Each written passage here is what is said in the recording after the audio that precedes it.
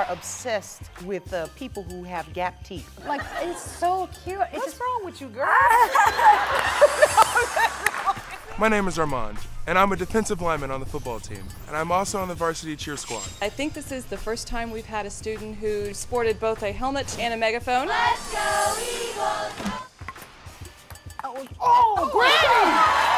That would be a grand slam. they said, don't take it easy on you.